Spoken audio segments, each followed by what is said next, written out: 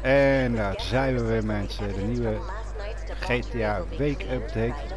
Zoals jullie zien de Comet Fister als podium. Niet een van de beste, maar wel een leuke auto.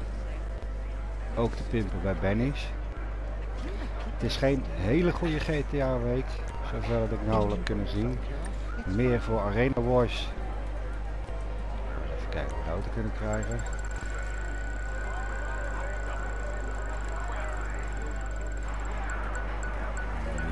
Helaas, discount.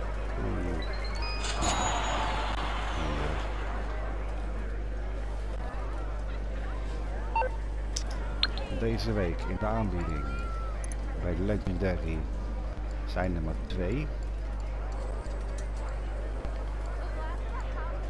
De Deviant en de Benefactor Slager.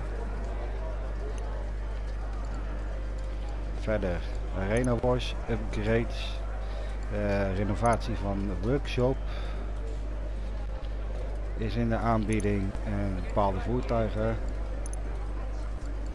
Jullie kunnen zien. De voertuig bij de Wars is de Scarab en de ZR380 in alle drie de dinges. Apocalypse, Future Shock en Nightmare. Dan is bij South Andreas alleen de toolpin, als ik het goed heb, ja, de class toolpin on sale. Bij Warstock is de Weaponized Dinghy 40% af en de Squaddy niet je geld waard, zeker niet.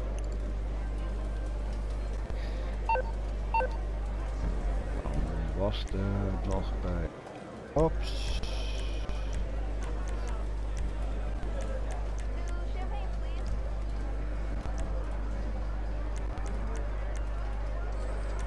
Eh, Wat is dit nou weer?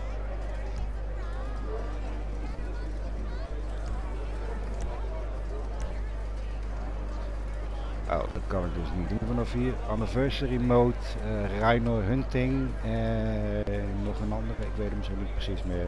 Maar in ieder geval geen goede GTA week deze week. Helaas, bammer. Hopelijk volgende week de Panther Statue bij de KO. Waar we allemaal op zitten te wachten.